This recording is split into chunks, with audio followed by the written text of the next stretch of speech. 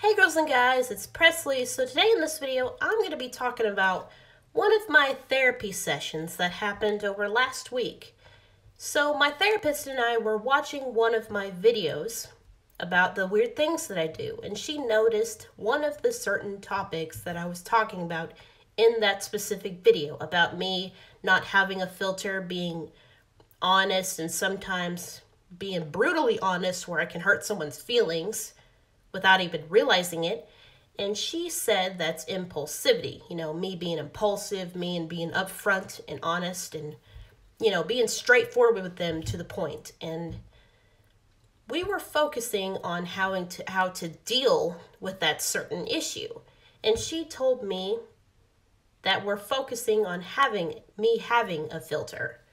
You know, she told me to keep things 50-50 even with each other, split it down the middle. So I can still be truthful and honest, but I need to be very careful on how I express the truth because sometimes what I say can just, you know, hurt somebody's feelings by accident. And I don't I have no intention of hurting anyone's feelings. So I have a little issue of, um, um, you know, that little thing of think before you speak. I'm the opposite. I've said this before, I'm sure. But she wants me to think before I speak because sometimes my mind can go blank. So if anyone asks me a question and I have to express my opinion, I have to think about it. You know, if someone asks me about what they're wearing and stuff and asks me about their opinion, I need to be very careful because if I say the wrong thing, I could hurt their feelings.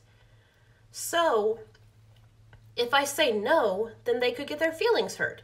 But if I say yes, but if I say yes, but in my mind I want to say no, I just got to say, that's okay. But when I when my therapist told me this, it kind of made me wonder if I tell people that that outfit is okay and my mind wants to say no so bad, it feels like I'm lying to that person. And I don't like lying at all, but at the same time, I don't want to express the truth to where it could hurt someone's feelings. Lying is bad telling the truth can also be bad. So there's a reason why I need to split things down the middle 50 50. I have to, you know, choose my words carefully, as what they say.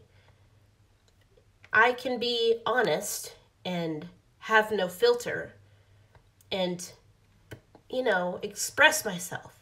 It just depends how I use it. It's like using a power and not knowing how to use that power can make that power go crazy. You know, Uncle Ben in the Spider Man universe said, with great power comes great responsibility. And I need to use my honesty as a responsibility on, you know, being careful how to use it and control it, wield it correctly.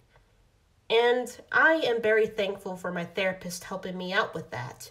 I'm still trying to control my honesty and, you know, trying to make sure I have a filter and thinking before I speak.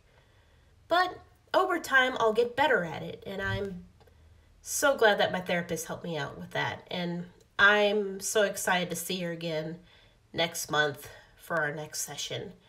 And as time progresses, I'll get better. I'll become a better person than I once was before. A shy, antisocial, honest person to an upbeat, happy, extrovert, still honest person and very kind and caring. I hope I can become that person, you know, be out there and, you know, meet new people and try to be social. Because back then I used to be very shy and antisocial.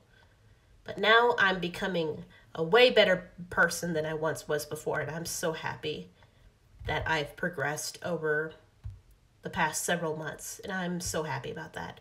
Anyway, I hope you guys enjoyed this video. Like, comment, share, subscribe, all that jazz. And I'll see you guys in the next video. Peace.